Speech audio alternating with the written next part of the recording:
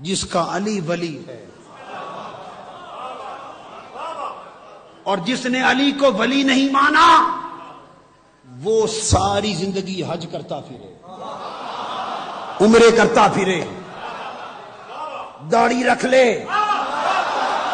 कुब्बे जुब्बे पहन ले, तबलीगें करे, मस्जिदें बनाए, दस बनाए, किताबें लिखे, वाज करे, तोहीद बताए, हुक्म होगा। अरे तुमने पता नहीं, सुना नहीं मेरे मुस्तफ़ा का ऐलान? गदीर खुम के मुकाम पर कि रिसालत से निस्बत उसको है, जिसकी निस्बत विलायत अलिम से है। और और तोहीद और तोहीद से भी निस्बत उसको है, जिसकी निस्बत विलायत अली से है। जो अली का नहीं, वो किसी का नहीं।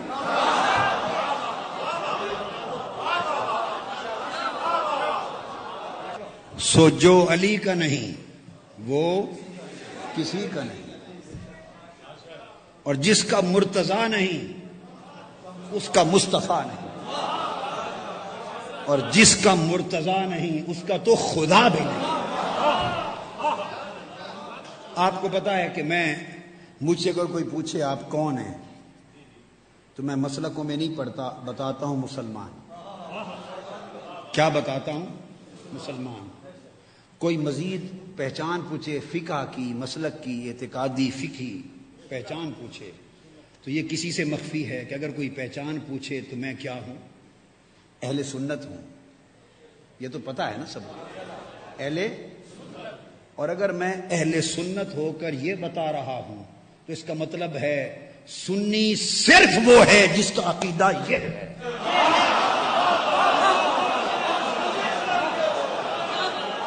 सुन्नी फकत वो। है और इस जिंदाबाद जिंदाबाद। और ये बात जो बात समझने वाली है, सुनिए। अगर जो बात मैंने कही, ये सुन्नीयत है। ये सुन्नीयत है। और ईमान से कहियो, यही शीयत है या नहीं? यही शीयत है। यही सुन्नीयत है। तो झगड़ा किस बात का? तो पता चला, झगड़ा सुन्नी शिया में नहीं है, झगड़ा खारिजियत का है खारिजियत का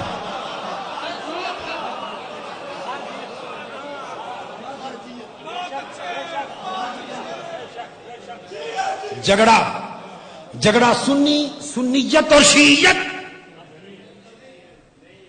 सुन्नीयत और शीयत, ये तो दोनों करबला में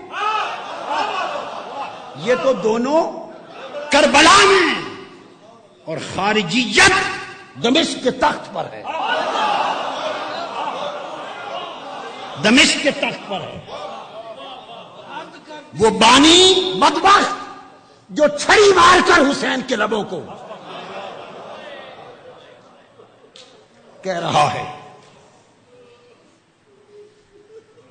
लिहाजा आपको मेरी तलकीन है कि आज के बाद इस तरह होके रहे। इस तरह। अब मैं बात कर रहा था, सो हुक्म वा के विलायत अली, विलायत मोहम्मदी।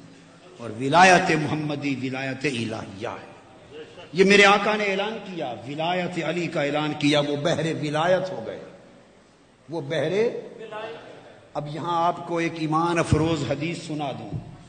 ज़िंदगी में नहीं सुनी होगी, मगर मैं जो बताऊँगा, उसकी हवाले, उसकी ताकीद, कुतुब हदीस, सब का जिम्मेदार।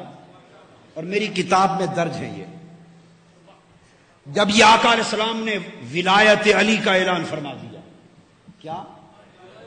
विलायत अली का ऐलान फरमा दिया।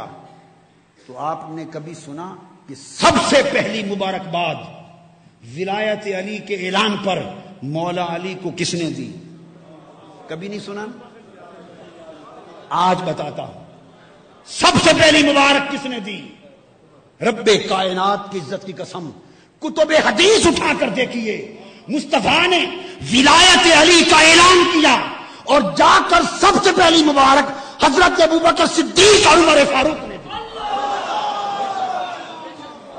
मुबारक दी और फरमाया हज़रत फारूक आज़म उमर रज़ी अल्लाह तला ने अली, फरमाया, अंत मौलाया वो मौला कुल्ले मोमिन आज के बाद अली, तू मेरा भी मौला है और हर मोमिन का मौला है।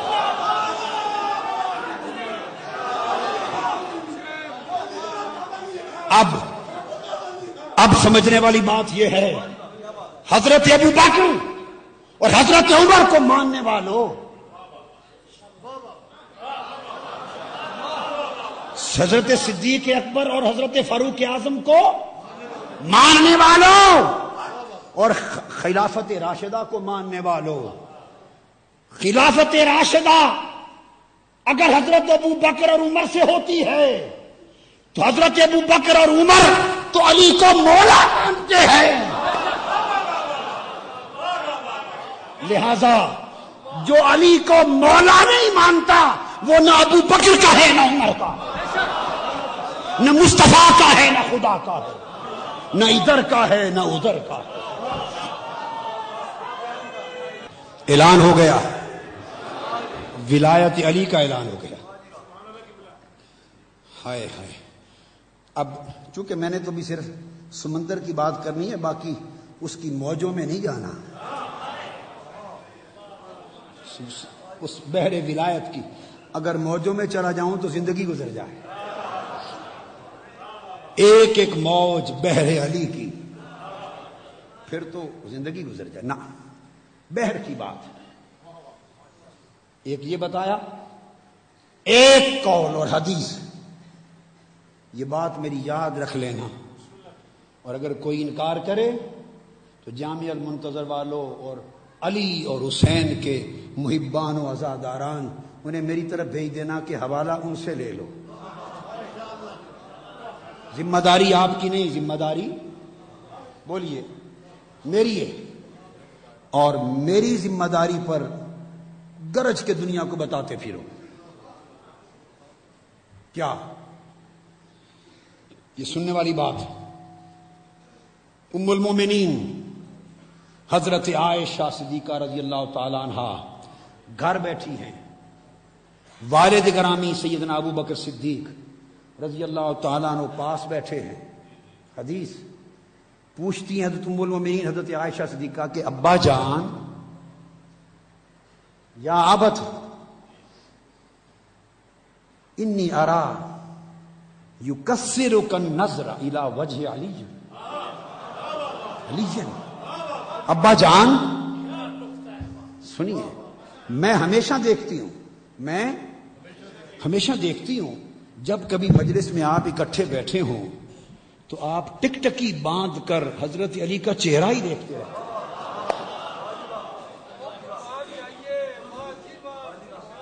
टिकटकी बाँध कर युकसर नज़र इला वजह अली आप हर वक्त हज़रत अली का चेहरा तकते रहते हैं।